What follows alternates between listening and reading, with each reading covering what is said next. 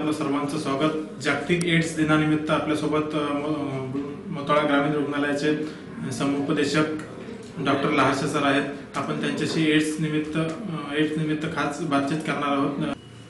नमस्कार. मी Gajanan Lahase I C T C समुपदेशक ग्रामीण रुग्णालय Motala. H I V AIDS या आजाराची सुरुवात जी आहे ती एकोणीसशे एक्क्याऐंशी पासून झाली. या आजाराचा पहिला जो रुग्ण आहे तो अमेरिकेमध्ये निघाला. आणि त्यानंतर मग डब्ल्यू एच ओ या संघटनेच्या वतीनं या आजारावर उपाय आणि या आजाराचा प्रस प्रचार करण्यासाठी एकोणीसशे अठ्ठ्याऐंशीमध्ये ह्या आजारावर जागतिक एड दिन म्हणून साजरा करण्यात यावा असं ठरवण्यात आलं. आणि तेव्हापासून एक डिसेंबर हा जागतिक एड दिवस म्हणून साजरा करण्यात येतो.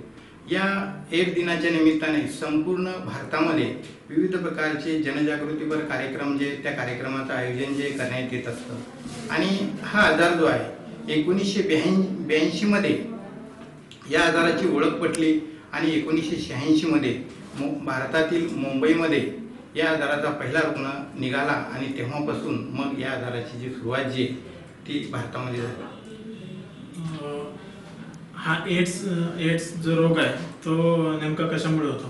काय सांगा हा आजार पसरण्याची प्रामुख्याने महत्वाची जी चार कारणं असतात त्यातील सर्वात महत्वाचं आणि पहिलं कारण म्हणजे की एखाद्या एच आय व्ही बाधित व्यक्तीशी जर आपले असुरक्षित लैंगिक संबंध आले असेल तर त्या माध्यमातून एच आय व्हीचा जो व्हायरस आहे तो आपल्या शरीरामध्ये प्रवेश करत असतो.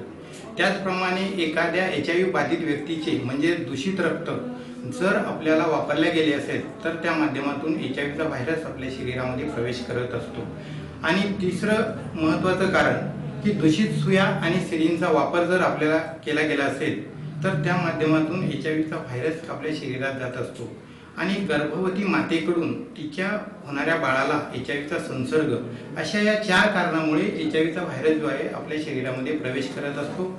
ही महत्वाची एच आय व्ही पसरण्याची जी महत्वाची आहे ती चार कारण आहे अ, याबाबत उपाययोजना कशा करता येईल जन- नागरिकांना? काय सांगा या आजारावर आतापर्यंत तरी कुठल्याही प्रकारचं रामबाण औषध जे आहे ते निघालेलं नाही. त्यामुळे यावर जे उपाय जे आहेत हे प्रतिबंधात्मक उपाय जे आहेत तेच यावर उपाय आहेत. जोपर्यंत आपण या आजाराला किंवा या आजाराविषयीची आपल्याला बेसिक माहिती असत नाही किंवा या आजारावर कुठल्या प्रकारचे उपाय आहेत किंवा कु- कुठल्या प्रकारचे उपाय नाही हे आपल्याला माहीत होणार नाही तोपर्यंत आपल्याला या आजारापासून वाचता येणार नाही. तर या आजारापासून आपल्याला वाचायचं असेल तर त्यासाठी आपल्याला जे प्रतिबंधात्मक उपाय आहेत त्यामध्ये सर्वात महत्त्वाचं की निर्जंतुक केलेल्या स्त्रियांचा वापर करणे सुरक्षित लैंगिक संबंध येणे गरोदर मातेला वैद्यकीय सल्ला मिळणे समाजामध्ये विविध प्रकारचे जनजागृतीपर कार्यक्रम राबवणे त्याचप्रमाणे एखाद्या एच आय व्ही बाधित व्यक्तीची किंवा इतर ज्या गोष्टी आहेत त्यांची आपण सेवा केली तर या गोष्टीने हे अ, आजार जो आहे आपल्याला होत नाही. हे प्रतिबंधात्मक उपाय जे आपण कारणे सांगितली तेच त्यावर प्रतिबंधात्मक उपाय म्हणून आपण अवलंब करू शकतो. या आजाराबद्दल समाजात खूप मोठ्या प्रमाणात गैरसमज पसरवले जातात. याबद्दल आपण काय सांगा समाजामध्ये गैरसमज असण्याचं कारण एकच आहे की समाजामध्ये या आजाराविषयी लोकांना बेसिक माहिती नाही. कारण शहरी आणि ग्रामीण भाग असे दोन आपण जर विभाग पाडले तर शहरी भागामध्ये या आजाराविषयी लोकांना बऱ्याच प्रमाणात बेसिक माहिती आहे.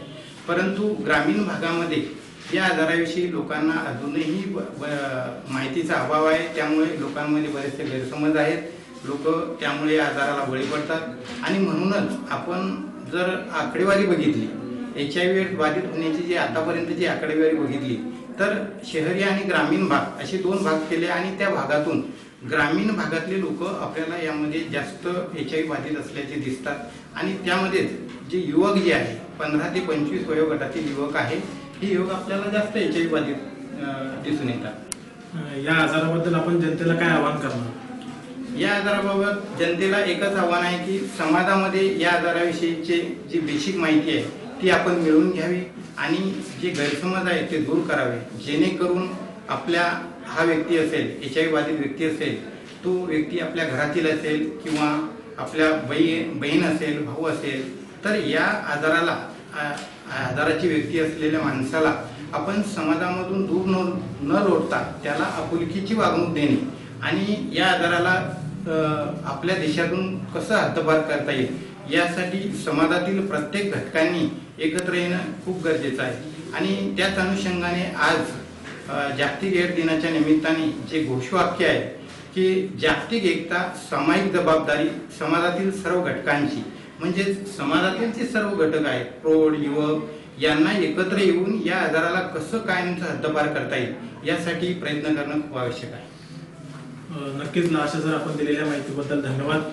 पाहत राहा. मोताळा लाईव्ह जनतेच्या हक्काचे व्यासपीठ. धन्यवाद. मोताळा तालुक्यातील ताज्या घडामोडी जाणून घेण्यासाठी आमच्या चॅनलला आज सबस्क्राईब करा. तसेच बेल आयकॉनवर क्लिक करा.